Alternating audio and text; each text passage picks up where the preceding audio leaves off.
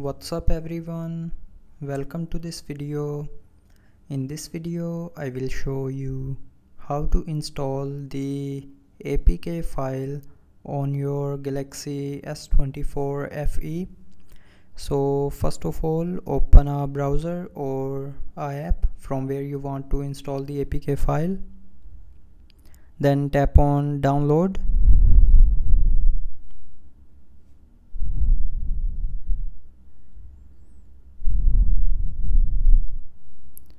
now tap on download the file and then it will ask you for a security confirmation.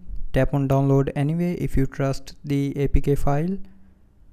And after that it will start downloading the file.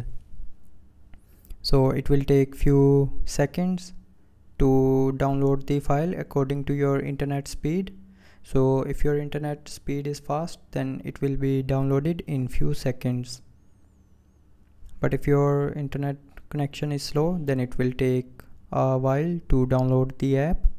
And after downloading you can tap on the app like this and then tap on install. And then that app will be installed in your phone. So that's how you can install apk files in galaxy s24 fe so i hope you liked the video Thanks for watching.